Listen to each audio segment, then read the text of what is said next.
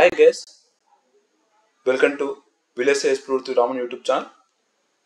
Let's discuss today topic link training and uh, status state machine in PCI Express. In PCI Express, LTSSM plays a major role. LTSSM makes PC link properly configured, stable, and ready for the data transmission. LTSSM consists 11 top level states which are detect, polling, configuration, recovery, L0, L0S, L1, L2, hard reset, loopback and disable. This can be grouped into five categories. Uh, let's discuss one by one.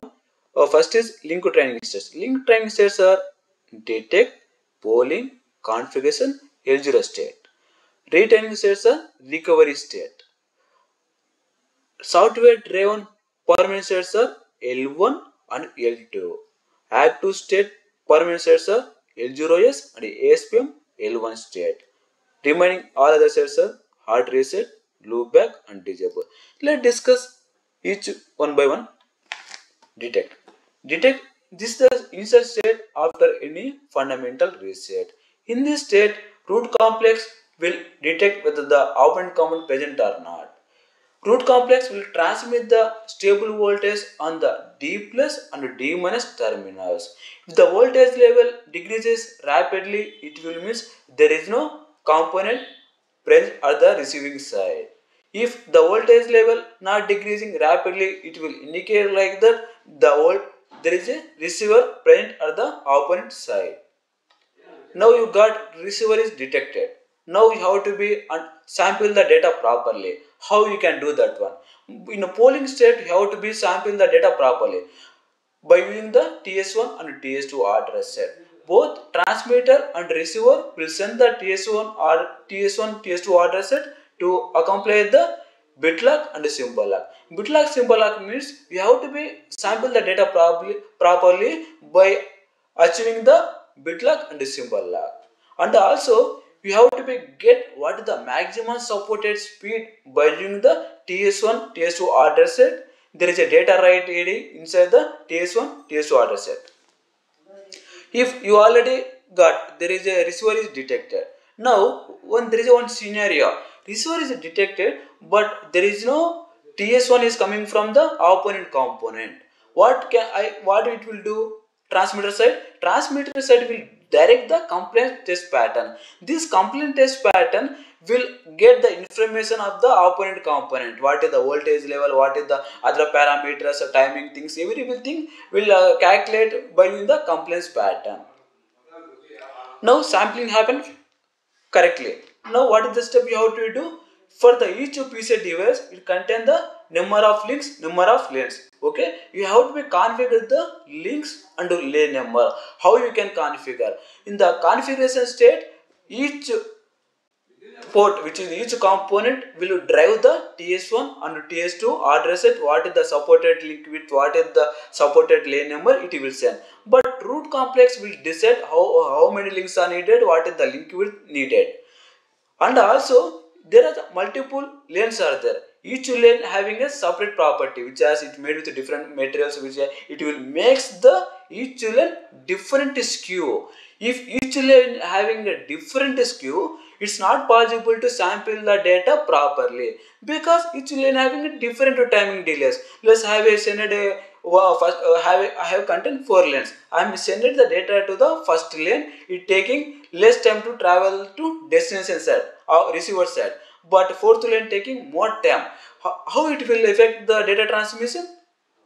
Because you have to be sample the data properly. If all the lanes having the driving the uh, data at the same time means you have to sample the data properly at the receiving side.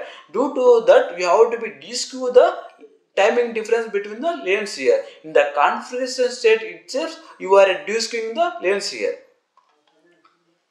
Now, all things completed, all the setup you had did receiver is detected, one task is completed, another thing sampling the signals properly you have done, another thing if the, if the multiple lanes are there there is a due to material difference each having the different skew you have you already did the d skew for the each lane that is completed what is the next step you have to do you have to be transmit the data in the L0 state you are transmitting the actual packets which is TLPs and DLPs in the L0 state you are transmitting. Both root complex and endpoint will actually transmit the packets in this state.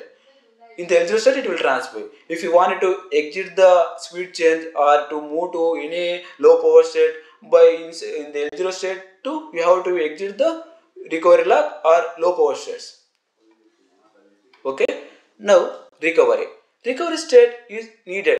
When it's needed means if there is some scenario you already completed all the tasks okay but uh, there may be some uh, disturbance uh, when traveling the data at that time some error happen you have to recover that error okay by using the recovery state you can do or uh, otherwise you have to do some uh, change which is the link width change or uh, speed change you have to be done inside the recovery state let's consider you are currently you are in the gen 1 speed. You wanted to change the speed to gen 2 speed to increase the bandwidth here. How you can achieve? By using the recovery state you can do these things. Now this recovery state is completed. It will uh, uh, do some operations which is the link width change or speed change error scenarios or to exit the low power states now move to L1 L1 means now there is no have any data to transmit. What you can do you have to make the device into idle state. How you can make the device into idle state? By using the L1 state. L1 state is the state where you are turning off the power which will make to save the power. Why you have to save the power here?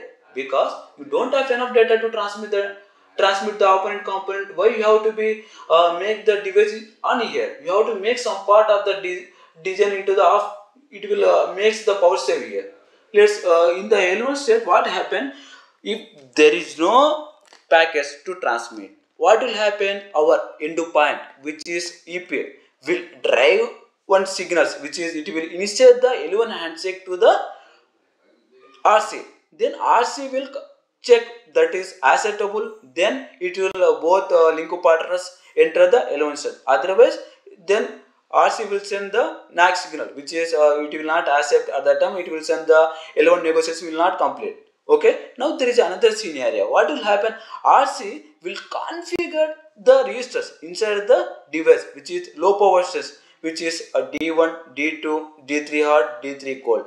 Whenever if your software which is RC will write the registers power states which is D1, D2, D3 then endpoint will make the L1 handshaking to enter the L1 state. Now in the L1 state what happened you are uh, using uh, making the power save but if you wanted to make more power save how you can do by using the L2 set. In the L2 set, main, main power of the device will turn off. Okay, there is no power. Less power is there. Why they kept less power here? Because now you understand. You have to be uh, wake up the DUT. If there is no power inside the your uh, DUT, there is no power inside the your device. How you can wake up the your device? you have to be set some minimum voltage which is we actually source to set inside the device to wake up the device when you have to be the you have to be transmit the data at the time you have to be use some wake up signals which is a beacon signal beacon is one wake up signal or undo another sideband signal which is the wake uh, wake signal sideband wake signal it can be useful to wake up the DUT yeah now the L2 power state is complete. is the more power uh, main. It will shut down the main power. Okay, device. Now loop back. Loop back is the state where you are testing the round trip. Round trip means you, you already configured the link. Okay, but you are you are trying to check the complete path. Why you have to check the complete path means because if let's consider have a sended one data okay the data may be corrupted at the receiver side okay it will take uh, it will it will give some error scenario now you wanted to make some check here what is the check? You send some data to the lanes what will happen? Same data will need to reflect by the slave master means our rc will send a ts1 with respect to the loopback bit then receiver side which is the slave side our ep ep will check the loopback bit and also it will enter the L1 loopback state. It will send the TS1 with respect to the loopback bit. Now both loopback states are there, link partners. What now? What will exchange happen? TS1 order set will exchange happen. Now it will transmit the one data, which is master will transmit the TS1 order set. The T, what is the TS1 order set sent by the master one? It what it will need to be echo everything. What is the sended uh, master which is RC, you have to be echoes back everything by the our endpoint. It will indicate there is no disturbance inside the link because what I am sended, it will everything is reflected for me. Everything I got. There is no errors in the, inside the link. It will give some integrity check, uh, which is round trip verification you can do by the loop back. Okay. Let's move another concept disable disable means it is uh, to disable the device which is uh, configuring you can disable in this state what happened? The transmitter let's consider our rc it is in the electrical idle state while the receiver in the low impedance state. Why they making this uh, transmitter in the uh, electrical idle and receiver is in the low impedance? Let's discuss. What happened? There is one feature. We wanted to remove the device. By using the hot plug feature is one concept in the PCIe you have to be remove the device. You have to surprise uh, removal of the device. At that time you have to be use the disabled state. In the disabled state receiver unless you have to be remove that uh, our component which is the endpoint uh, our device any any device you have to be remove. At that time what will happen? The what the state at the time it is low impedance state. Before this is the state in the disabled state only device is configured is disabled which is transmitting the electrical idle and uh, receiver in the high impedance state it will uh, makes to remove the device here yeah how you can do this one you can achieve by setting the disable bit in the link control register for the RC. If you set the disable bit in the link control register, what will happen? our RC will send the TS1 order set with, to the EP DUT. Okay, EP, EP will get the TS1 with respect to the disable bit. Then EP will understand, okay, I will also change the my state to disable state. Then it will change, it will enter the disable state. Okay, this is the disable state concept. Disable state means the, that is the one thing you have to be uh, separate removal of the device when there is need to be remove the device uh, at the time you have to use the disable state make the link is disabled at the time now hard reset hard reset is the state where when there is a error scenario or otherwise you have to be entered some retraining which is need to be done. At that time you can use the heart reset. Whenever the heart reset happen what happen? It will directly enter the detect detect the starting stage okay? Now after the whenever any device any state enter the detect state what will happen? It will again fetch the device and do sample the data checking happen and do configure the lens. Everything will done training.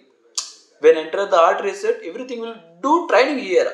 Okay? This hard reset uh, it will give some error scenarios happen at that time you can uh, achieve this one. How you can do that one means our rc rc having a one uh, register which is the secondary bus reset between the bridge control register you can configure the secondary bus reset inside the bridge control register of the RCA. What will happen RCA? It will send the TS1 hard reset with respect to the hard reset bit.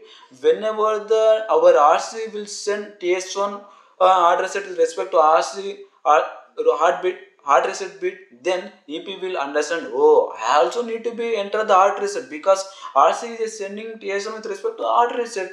Then EP also enter the hard reset. Then again training will start. It will uh, again fit the component again sample the data properly again configure the lens. Okay? Yeah this is the overall LTS context. Yeah thanks for that giving the chance. Let's wind up the session please share and subscribe.